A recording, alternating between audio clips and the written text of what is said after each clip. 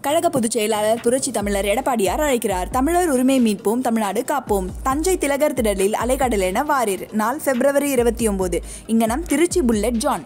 முன்னாள் அமைச்சர் S B Velumani அதிமுகவிலிருந்து விலகி பாரதிய ஜனதா கட்சியில் சேரப்போவதாக தகவல்கள் வெளியான நிலையில் அதை அவர் மறுத்துள்ளார். நாடாளுமன்ற தேர்தலை எடப்பாடி பழனிசாமி தலைமையில் சந்திப்போம் என அவர் திட்டவட்டமாக கூறியுள்ளார். கோவை மாவட்டம் சிங்காநல்லூரில் நடைபெற்ற நிகழ்ச்சி ஒன்றில் கலந்து கொண்டு பேசிய வேலுமணி சமூக வலைதளங்களில் தன்னை பற்றி பல்வேறு தகவல்கள் வெளியாவதாக சுட்டிக்காட்டினார். இவற்றை திமுக மற்றும் பாரதிய ஜனதாவினர் பரப்புவதாக அவர் குறிப்பிட்டார். அதிமுக என்பது தாய் வீடு போன்றது எனவும் எஸ் பி வேலுமணி தெரிவித்தார். அதாவது இது வந்து அதிமுக பொறுத்தளவுக்கு நம்முடைய தாய் வீடு நம்முடைய கட்சி எல்லாரும் தாய் வீட்டுக்கு தான் வருவாங்க யாரும் தாய் வீட்டுக்கு போக மாட்டாங்க? நல்ல- அது மட்டுமல்ல. இது மிகப்பெரிய கட்சி.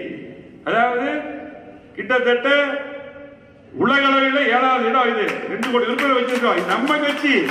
நம்முடைய வீடு. நம்முடைய கட்சி இந்த கட்சியில நம்மளை வந்து பாத்தீங்கன்னா ஒரு சாதாரண குடும்பத்தில் இருக்கிற நம்மளை எல்லாம் ஒரு எம்எல்ஏவாக ஒரு அமைச்சராக ஆக்கி அழகு பார்த்தது அம்மா அவர்கள். புரட்சி எம்ஜிஆர் அவர்கள் இந்த கட்சியில. இதெல்லாம் பதிலே நம்ம சொல்லக்கூடாது. அது மட்டுமல்ல. இன்னைக்கு ஒரு மூணு பர்சன்ட் நாலு பர்சன்ட் இருக்கிற பாரதிய ஜனதா கட்சி நம்ம போய் சேர்த்து போடுறாங்கனாலே அது போய் நம்ம பதில் சொல்லணுமா?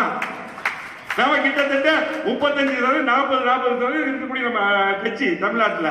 இதுக்கெல்லாம் பதில் சொல்லாதீங்க அம்மனத்தில் கேட்டுக்கிறேன் இதெல்லாம் டோன்ட் கேம் விட்டுட்டு போயிருங்க இதெல்லாம் ஒரு கவலையப்படாதீங்க அவ்வளவுதான்.